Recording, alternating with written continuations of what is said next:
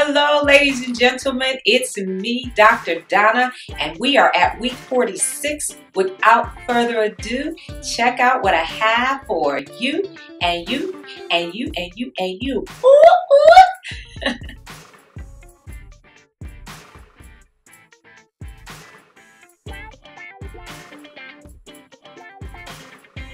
Last week's book was Three Feet from Gold.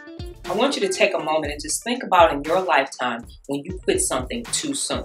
For me, I ran track in high school and in the 10th grade I quit because I sucked and it was difficult. I had to right that wrong before I graduated from high school, so I went back in my 12th grade year and I ran track again. I lettered in cross country, I lettered in the regular season, and I even won some relays. It was awesome. I don't want you to walk through life thinking about all the things that you quit all the things that you've left three feet from finishing.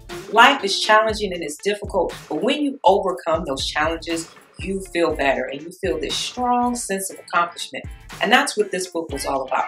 I challenge you this week after you watch this video, think about something that you quit when you were so close and go back and succeed. Without further ado, I'd like to share with you from Three Feet from Gold, Dr. Donna's Dozen.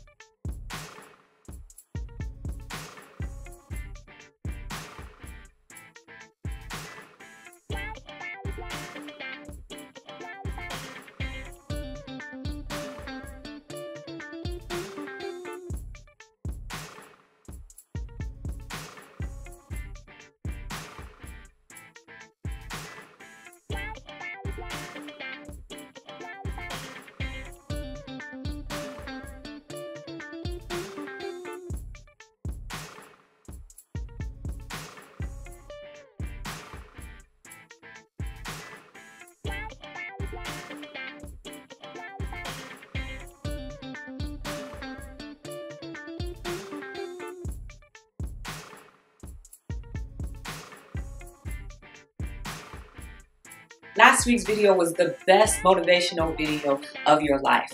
I always tell people, when you say you're the best, make sure you're the best. This wasn't the best motivational video of my life.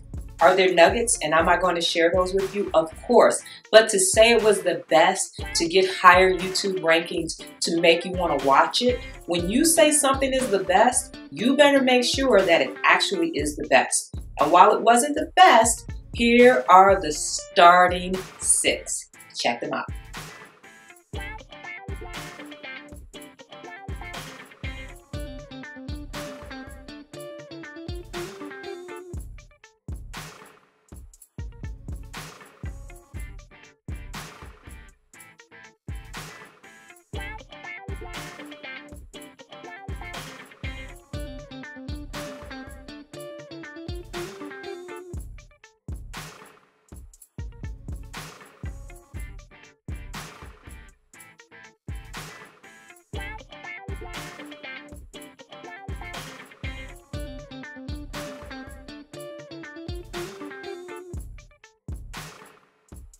I love it when business owners have everything together. They've got funding, abilities, secretaries, all these things.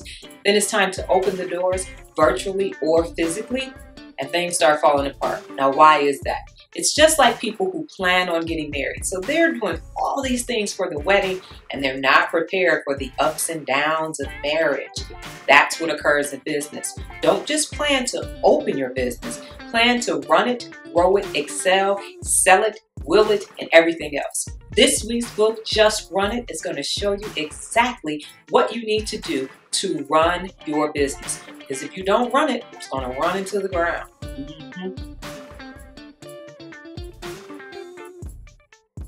This week's video is about the power of belief.